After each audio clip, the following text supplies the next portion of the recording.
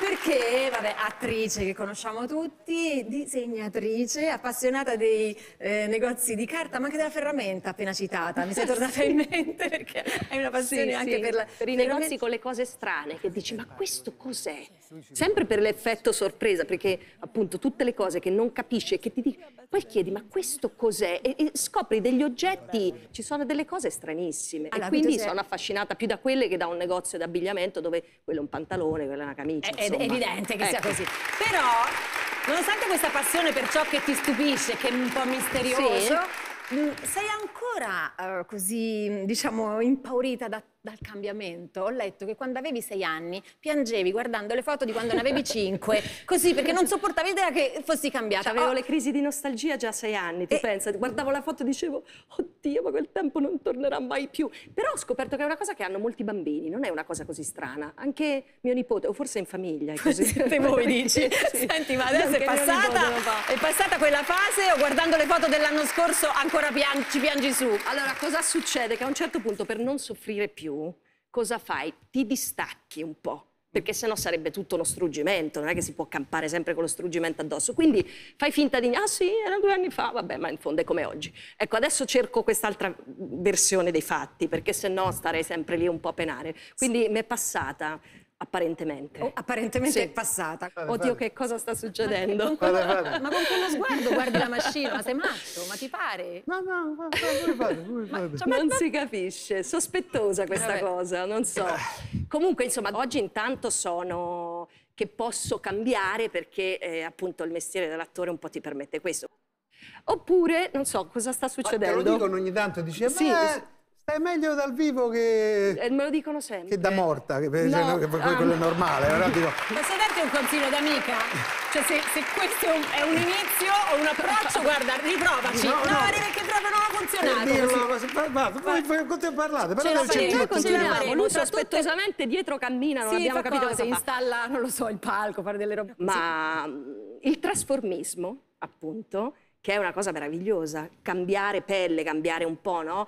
È anche una, mh, una cosa di cui parla il film. Ma cosa ci dice il cervello? Ma cosa ci dice, il, cosa ci cervello? dice il cervello? In fondo dentro si parla anche di trasformazione, nel senso che in realtà la protagonista, Paola Paola Cortellesi, Cortellesi nelle sale in questi giorni il film di Riccardo Milani, siete davvero in tantissimi come Siamo in tanti, citava eh. Michele prima.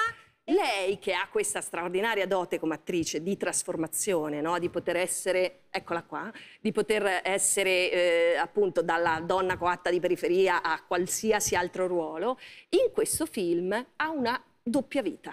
Quindi è apparentemente una mamma, come abbiamo visto prima, eccetera, una mamma normale con una sua vita, la figlia, la, la- la nonna che è Carla Signoris, insomma, che gestisce questa vita qua anche un pochino, se vuoi, mesta come donna, invece nasconde, delle- nasconde il fatto che una, lavora per i servizi segreti. Lavora per i servizi segreti e sistema delle cose che nel mondo non vanno, finché incontra noi, eh, che siamo appunto i suoi amici de- dell'epoca, dei- degli anni 90, ci ritrova, ognuno racconta un po' la sua vicenda, io sono una dottoressa, le, le- le mamme dei miei pazienti sono una pediatra, quindi ho dei bambini come pazienti, e le mamme sanno sempre tutto, pure loro, sanno sempre, hanno letto in internet che però si fa così, così, così. E quindi tutti noi siamo un po', diciamo, subiamo, ognuno nel proprio lavoro, io come medico, l'altro come insomma, allenatore di calcio, l'altro come professore, tutti subiamo un po' una specie di arroganza e di saccenza diffusa da internet eh, e, e quindi in qualche modo tutto. tutti pensano di sapere qualcosa in più dell'altro, c'è una grande diffidenza, no? E quindi questo film in maniera assolutamente divertente, ironica, eccetera, però coglie una cosa che c'è nell'aria. Io quando ho letto la sceneggiatura ho detto, porca miseria, è proprio, è proprio così quello che sta succedendo. E quindi Paola, cioè Giovanna il personaggio, decide di sistemare anche i nostri di guai. Non vi dico come, perché sennò insomma manca soltanto che faccio il finale, insomma, forse questo lo devo fare, però il Cioè, resto... è nelle sale, ma che ci dice il cervello e tra le cose che ci dice il cervello c'è anche questa. Sappiamo Sì. tutto, ormai basta che Sì, leggiamo sì, più dei sì. dottori, più di- Perché succede. degli architetti, noi sappiamo qualunque, qualunque cosa. Guardi uno che ti dice prendi l'aspirina, sei sicuro? Però l'aspirina ho letto che ho letto che- un secondo me è meglio quest'altra... Ecco, ecco qua. L'ho detto che Paola Cortellesi ah. ha cominciato a recitare al Teatro 7. nel mio Ah, teatro. sì? No, No. così dato è... Ah, pure- hai anche questa stelletta No, appuntata no. sulla tua giacca? Così, tanto per dire una cosa. Senti, a noi non ci è dato di sapere cosa sta per accadere, vero? No. No, perché mi hanno Però detto... quella valigia è bellissima. Ti piace questa? Sì. Questa è la valigia dell'attore, Eh, classica. Sì, è proprio la valigia di Chekhov. Me l'hanno, prestata. Però so che tu sei un po' appassionata di magia. Eh, sì. E allora volevo stupirti con effetti speciali. Perché sai, io non solo conduco, non solo faccio l'attore, Addirittura- ma faccio anche. Sì. Eh, a questo punto mi faccio da parte io. Siamo tutti Guarda, no, guarda, guarda, guarda, guarda, eh? Eccolo qua. È roba forte. Mago Michele. E so quelle cose belle. No, perché voi, voi continuate, se dovete parlare, io apparecchio. Sì, sai, nel è normale continuare stai- a parlare mentre uno Senti, dietro io sventola credo una cosa che- d'argento. Esatto, così. Puoi venire? Anzi, ti vengo a prendere. Prego. Vabbè, dai, c'è tanta gente, non è che proprio veramente. No, allora, figurati. eh, so che sei appassionata, io ma un po' mi diletto così. L'avrò Uh-huh. fatto tutte le volte che ho vestito i miei figli, perciò insomma quelle due volte, come diceva prima Federica Cipolla. Questo è un gioco molto molto interessante e molto, anche molto intelligente. Ogni tanto mi stupisco anche perché l'ho inventato io. Guarda, è abbastanza difficile. Allora, come potete vedere anche a casa, e questo sono tre palle, tre palle di colore diverso. Però guarda cosa magica succede quando io inserisco la prima sfera di colore giallo qua dentro, poi quella di colore azzurro, dopodiché metto anche quella di colore rosso, faccio un trucco particolarissimo e mescolo. Poi da sola puoi introdurre la mano e tirare fuori per me la palla. Guardiamo Dillo adesso. prima però, se no... Ah, no, la tiro fuori io. Tu tira fuori. Questa era la palla di colore azzurro che è diventata gialla. Ti aiuto. Questa era la palla di colore gialla. Questa era la gialla. La gialla Era la è gialla. rossa. E questa per forza di cose era, la rossa. era la rossa. Che dietro. Eh, è meglio. Gioco perfettamente riuscito. Devo ammettere... Che due riparti. Devo ammettere che... Non male.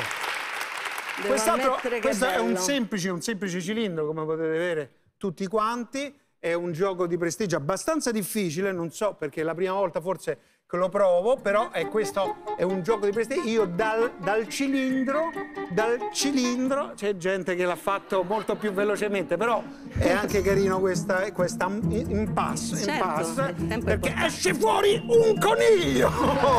Un coniglio, signore e signori, un coniglio, un coniglio Devo molto dire- bello, che è molto anche abbastanza. Bellissimo. Posso dare un bacino al coniglio? Bellissimo. Bacino, bellissimo. Sei Bellissimo, abbastanza so. soddisfatta. Però so che tu sei prestidigitatrice e, e molto più brava invece di me. No, no, molto no. Eh, però ci Però- fai un gioco? Un pochino. Un pochino, No, ci vuole proprio veramente no, poco. scherzo. Ci fai un gioco? Allora, io mi ero preparata, tu lo sai, Eh, lo se so. no non me l'avresti potuto dire. fatto tutta questa io cosa ho un qua. fazzoletto in tasca. Eh. Guarda, l'ho preso da qui piccolissimo, perché il gioco lo so fare solo con un fazzoletto piccolissimo, quindi lo faccio vedere a tutti. Posso, lo faccio vedere Sì, anche sì, di qua, sì. no? Come facevi tu. Ma certo è veramente molto piccolo, forse mi si è rotto. Però vabbè, allora questo è un fazzoletto e queste sono due mani.